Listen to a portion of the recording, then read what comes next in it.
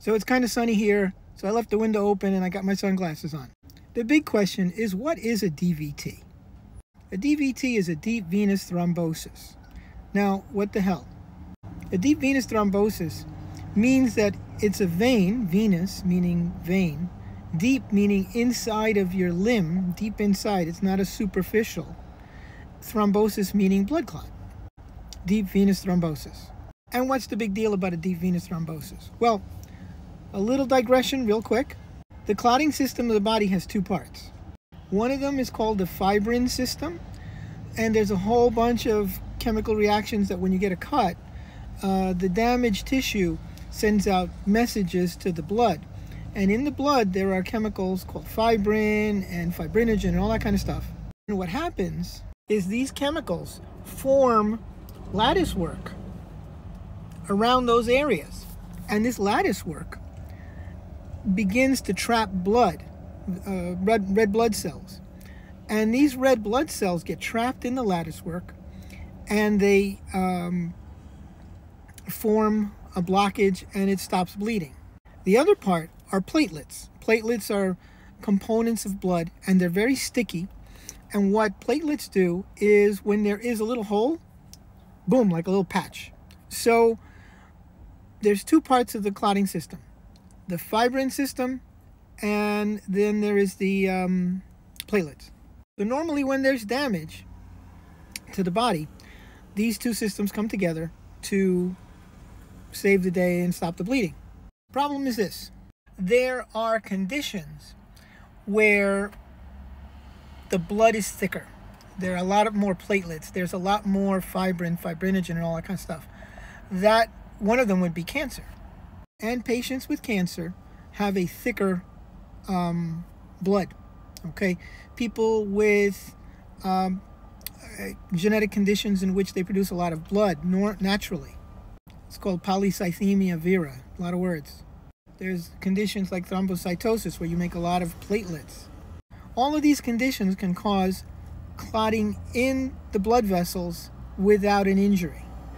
But honestly, this isn't where DVTs are most dangerous. I mean, this isn't um, why I'm telling you about DVTs.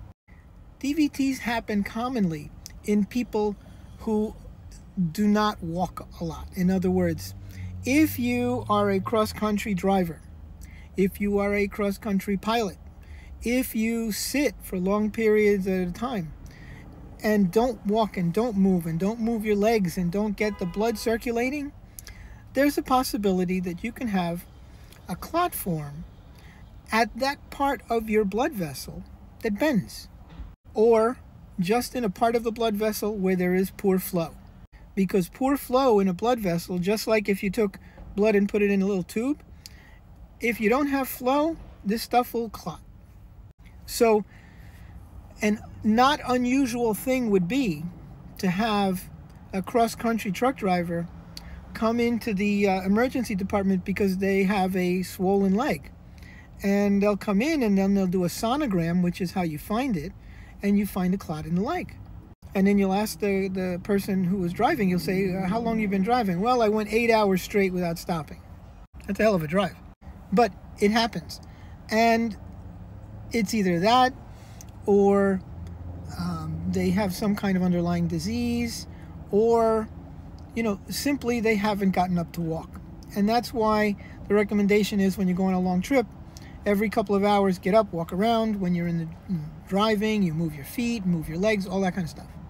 So, what's the danger of a DVT? Big deal, it swells. It can get infected, but the hardest thing, the, the, the worst part is that you can have a little piece of that clot break off and travel to your lungs. And if it travels to your lungs, what happens is it blocks off a bit of the vascular system to the lungs, which means that you lose the ability to transfer oxygen in and out of your blood and CO2 out of your blood.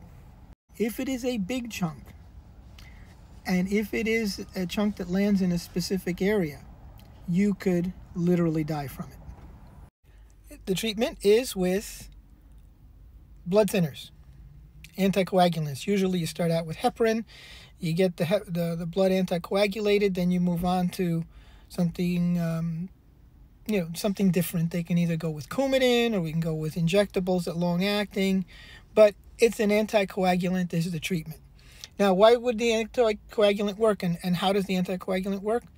It can work on the fibrin or the platelets, usually on the fibrin system.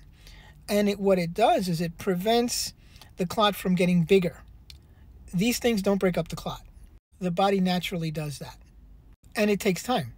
So after your first DVT, you get on anticoagulation for six months. And then you stop.